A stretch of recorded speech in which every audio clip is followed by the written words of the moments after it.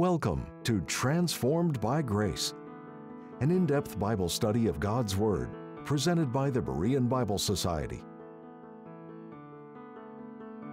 Join us each time on this station as Pastor Kevin brings the transforming message of God's grace revealed through the Holy Scriptures.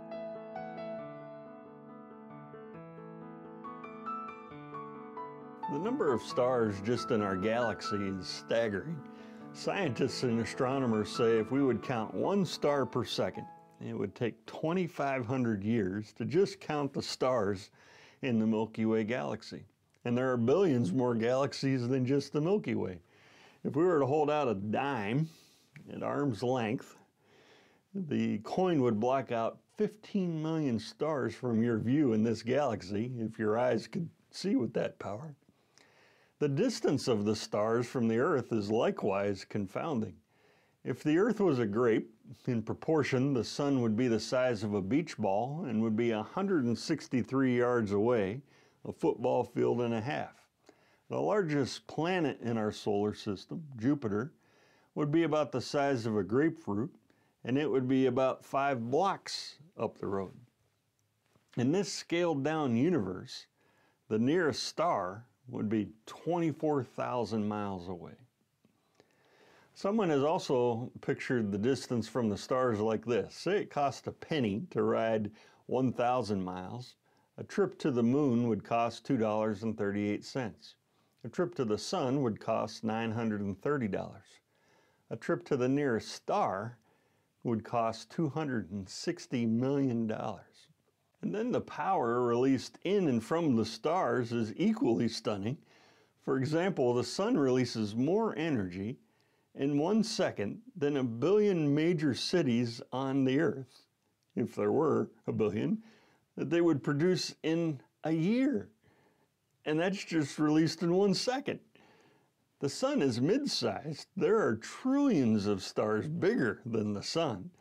It isn't anywhere near as big as a red supergiant star called Antares. 50 million of our suns could fit inside of Antares. Think of the energy that that star releases in one second. And then you think of them all collectively. There's at least 200 billion in our galaxy. There's hundreds of billions of stars in each of the billions of galaxies. And yet the Bible describes the creation of all of this energy, power, mass from all of these countless heavenly bodies in Genesis 1:16 with the single phrase, he made the stars also. Like it's no big deal. It was simple, piece of cake. Scripture states things simply for God because they were easy for him to create. God is all powerful. The energy of all of the stars is still an immeasurably small token of the infinite divine energy and power of God. With this episode, we'll begin a series called Creation Psalms. We're going to take a look at a, different Psalms that deal with the topic of creation and God as the creator and sustainer of all things.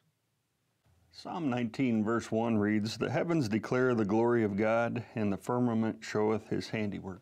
God, who created the heavens and all that is within them, must be the sole object of our worship and praise. We don't worship the sun, the moon, or the stars. We look past them and we worship and give praise to their Creator, to the one who made them. According to this song, God's majestic universe contains a message it is a bold announcement to all. The psalm the psalmist shows how the universe is God's billboard about his glory. The heavens and its expanse are the work of his hands and declare his glory. All anyone has to do is go out and look up at the sky day or night, and the heavens are declaring how great God's glory and greatness is. Now, David knew none of the modern data of the size of the universe, and yet when he just pondered the heavens, just by looking at it, he was overwhelmed by the glory of the Lord. And we do the same just by looking at its beauty and design. David refers to the heavens plural because there are various spheres of heaven the first, the second, and the third heavens. Here, David is speaking of the first heaven, or the upper atmosphere, the heaven of the clouds, that is. And he's referring also to the second heaven, or the solar heavens, the heaven of space, where the moon, the sun, and the stars are. The heavens above declare that God is all glorious. The firmament above shows his handiwork.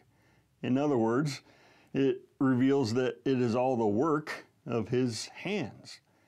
The heavens are a declaration to mankind that God is, and that he is glorious, and that he is the maker and creator of all things.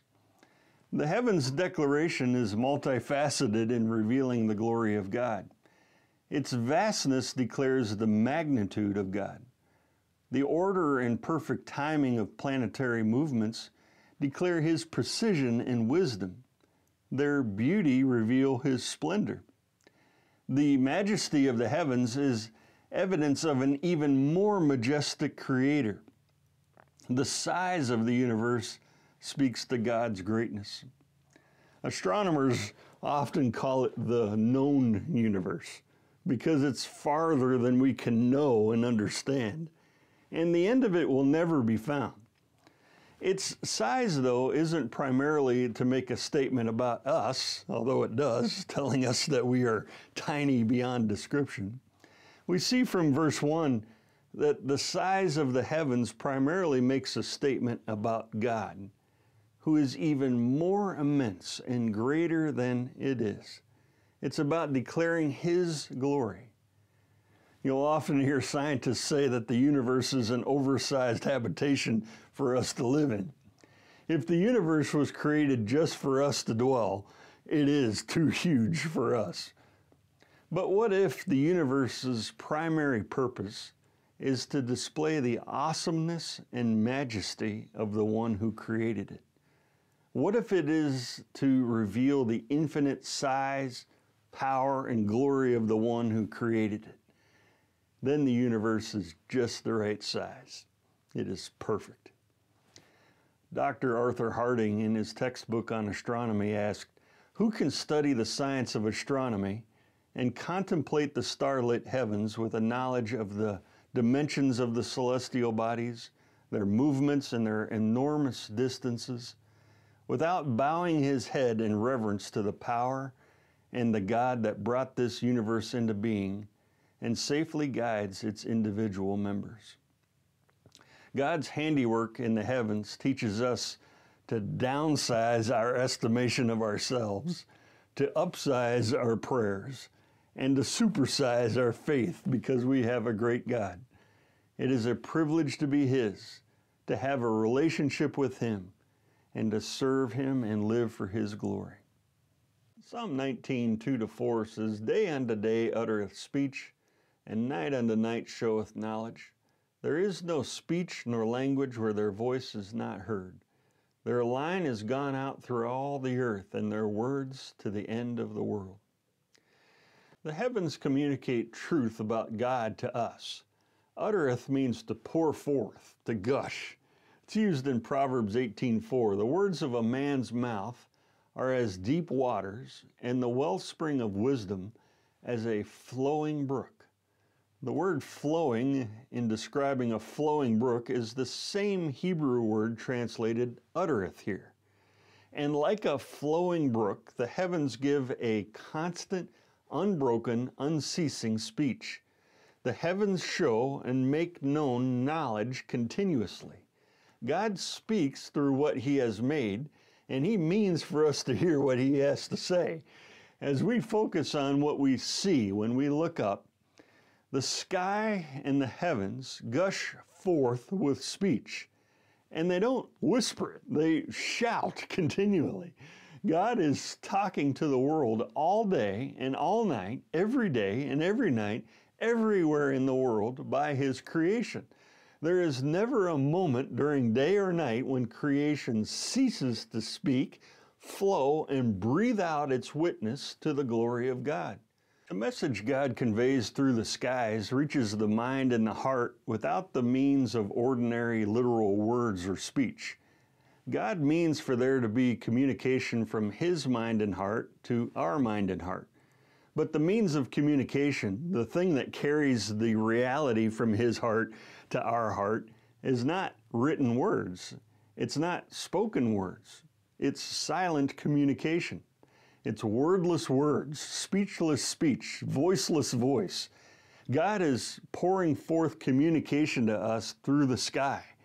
He is telling, proclaiming, and declaring knowledge to everyone who will stop, look, and listen and think. The knowledge which pours forth from days and nights is conveyed by light, color, shape, design, motion, magnitude, power, and beauty. The message of the heavens is about God. The ministry of the sky is a ministry of communication about Him. It testifies to the person of God. Day and night, everywhere in the world, God is speaking to all people about Himself. God speaks to the inhabitants of the earth by means of His creation. Creation is God's wordless book that everyone can see, read, hear, and understand. God speaks through His creation day after day, night after night, and it speaks silently, abundantly, and universally. The speech is not about nature.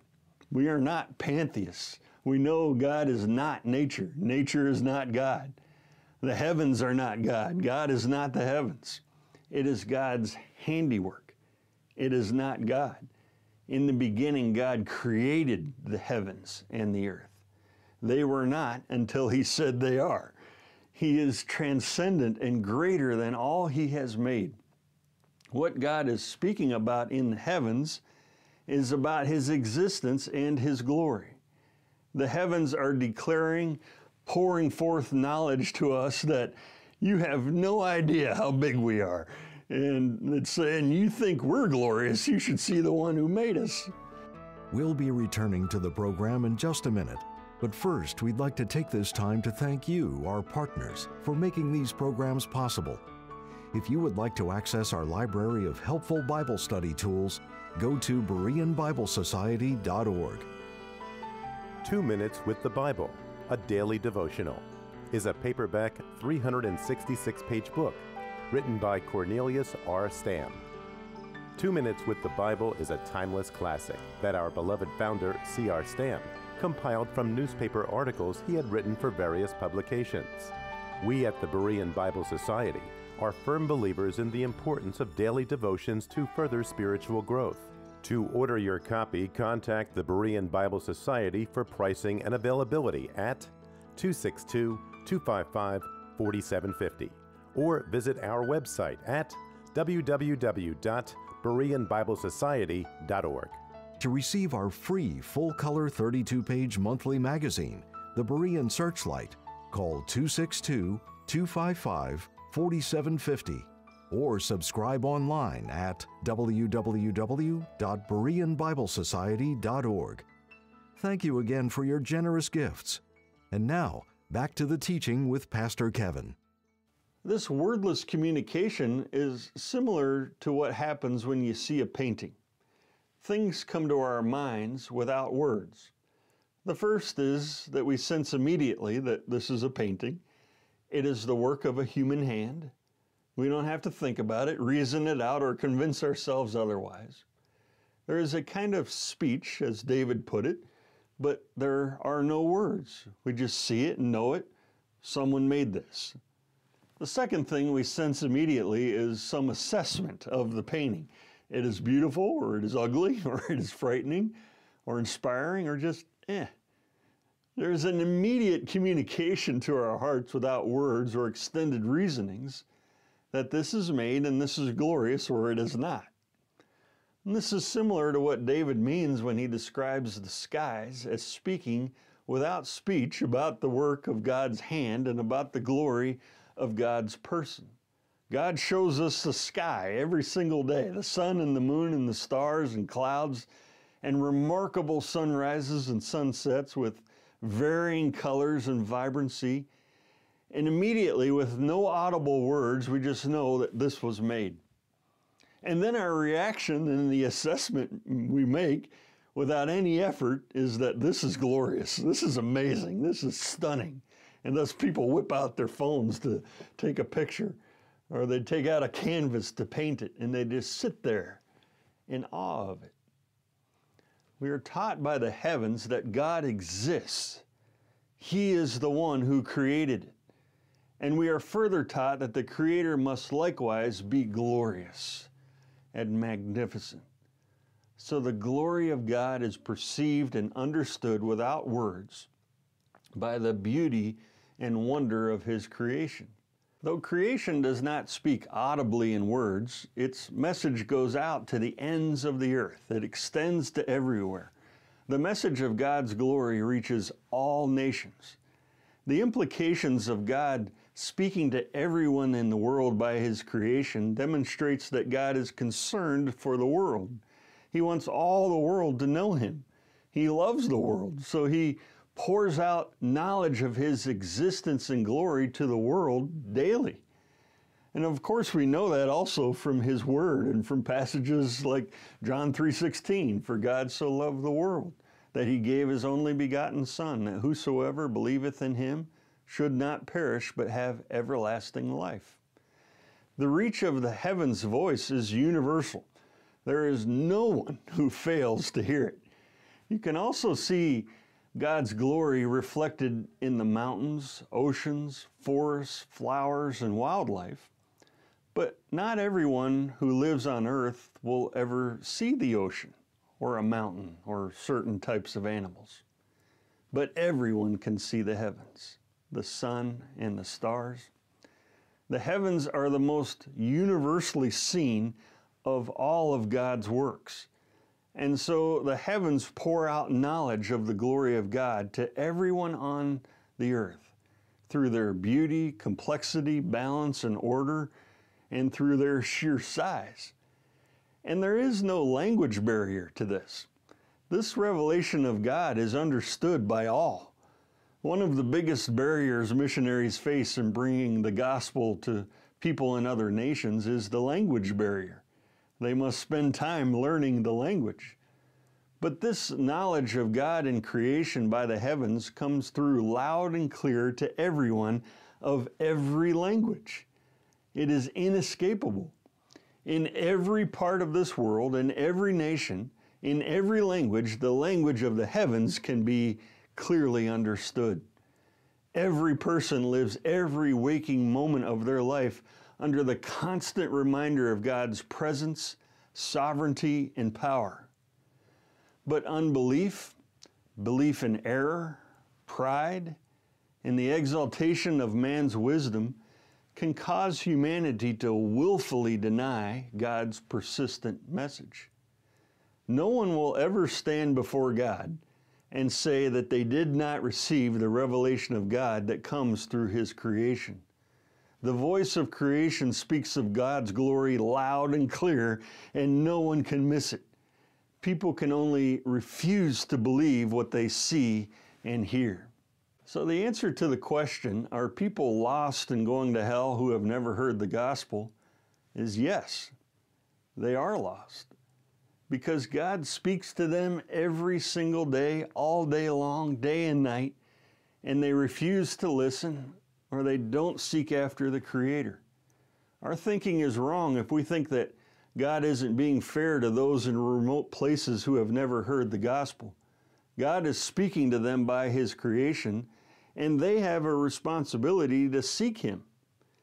Then we further need to be sensitive to God speaking to us, the church, by His Word, because His Word teaches us that we have a responsibility to get the truth of the gospel to them, to those who have never heard the gospel in our ministry of reconciliation. Musician Michael Card once said in an interview, Again and again in China, I talked to people who had never heard of Christianity, never heard of Jesus Christ. They never heard a single word from the Bible. Yet through nature, the heavens, and their God given conscience, many believed in God. Not only did they believe God existed, they derived some understanding about His loving character because He provided food, water, and a beautiful world. One old woman, after she got saved, told me, I've known him for years. I just didn't know his name. Creation provides us with some knowledge of God, but it does not provide the saving knowledge of God. A person can look at creation and understand that God exists, but knowing that God exists does not save a person. A person can understand from creation that God is caring, all powerful, and wise, but knowing God's attributes does not save a person. Creation's testimony is not enough by itself. General revelation of God through nature cannot convert sinners into saints, but it does make them accountable. Salvation comes through the special revelation of the Word of God and faith in the gospel of grace that Christ died for our sins and rose again. Faith comes by hearing, and hearing by the Word of God. Thus, the need is urgent to send missionaries around the world with the gospel to share Christ and His finished work so people can be reconciled to this glorious and loving God and be at peace with Him. Psalm 19, 4 to 6 reads, In them hath he set a tabernacle for the sun, which is as a bridegroom coming out of his chamber, and rejoiceth as a strong man to run a race. His going forth is from the end of the heaven, and his circuit unto the ends of it, and there is nothing hid from the heat thereof. Dominant in the heavens above is the sun, and the sun declares God's glory. Psalm 33 6 says, By the word of the Lord were the heavens made, and all the host of them by the breath of his mouth. God breathed out the sun by the breath of his mouth and spoke it into existence. The size of the sun God created is so big that one million earths could fit inside it. God placed the sun the perfect distance away from the earth, 93 million miles providing just the right level of heat and light. If the sun was any closer, we'd burn up. If it was further away, we'd all freeze. God created the sun 400 times the size of the moon, but 400 times further away. So that's why it appears the same size in the sky. The surface temperature of the sun that God created is 10,000 degrees Fahrenheit. It has the energy of 100 billion tons of dynamite detonating every second. And God just opened his mouth and spoke this massive flaming ball of energy and extraordinary heat into existence. And he maintains it. It's held by him. Without him, it would cease to be. Without his sun that he created, life would cease to be on this earth and that sun declares God's glory. No one other than God could create, sustain, and employ such a heavenly body as the sun. As the sun goes down for the night, David poetically and beautifully pictures the heavens as a tabernacle or tent for the sun. It is there that the sun encamps for the night.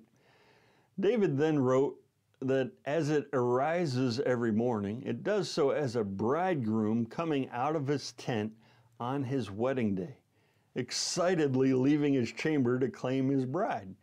Like a groom bursts forth out of his house on his wedding day, the sun bursts forth and rises. And that feeling of newness and joy, of the anticipation and excitement of a married couple's new life together, is like the start of each new day and the sun's new journey through the sky. The message when the sun bursts forth and rises in its colors of red, orange, gold, and lavender in the eastern sky, the message is the glory of God. And then as the sun rises, David states that it becomes like a race across the sky. It rises at one end of the heavens and makes its circuit to the other. The sun moves through the arc of the heavens like a strong man running a race, he says.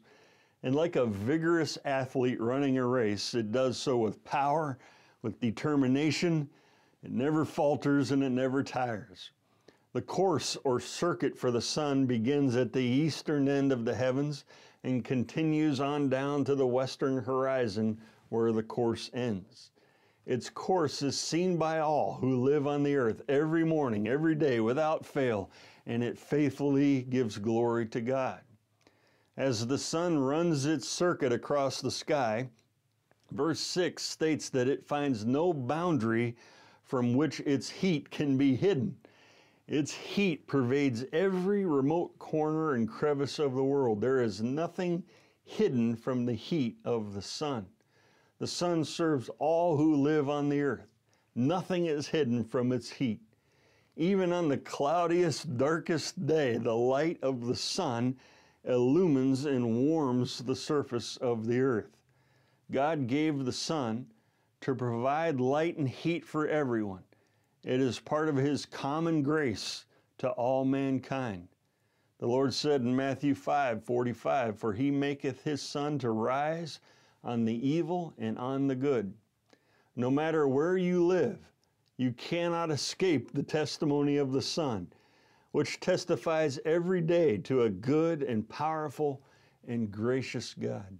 God's majesty, as revealed in the heavens, makes us realize how far we fall short of Him and who He is and His glory, and how small and weak we are in comparison to Him. And it makes us realize the wonder of Jesus Christ, God's Son, the glorious Creator of all things, coming to this world to be our Savior and die for our sins, so that we might have peace with God and then rejoice in hope of the glory of God.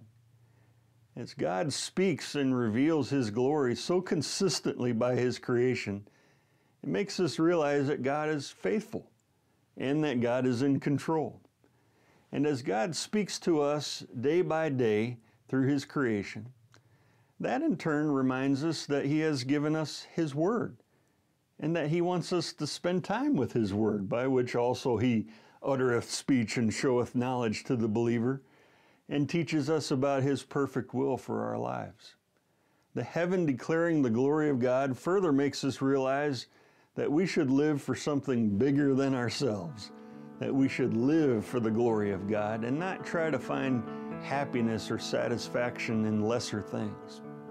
And the daily testimony of God's glory teaches us to do what 1 Corinthians 10:31 says, whatsoever ye do, do all to the glory of God.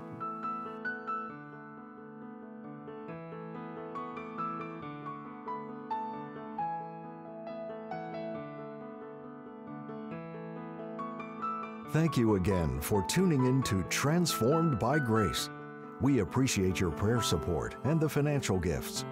The purpose and mission of the Berean Bible Society is to help you understand the whole counsel of the Word of God. For more information, visit our website at www.bereanbiblesociety.org or give us a call at 262 255 4750. Or if you prefer, write us at the Berean Bible Society, P.O. Box 756, Germantown, Wisconsin 53022. Now, until next time, may you be transformed by God's grace.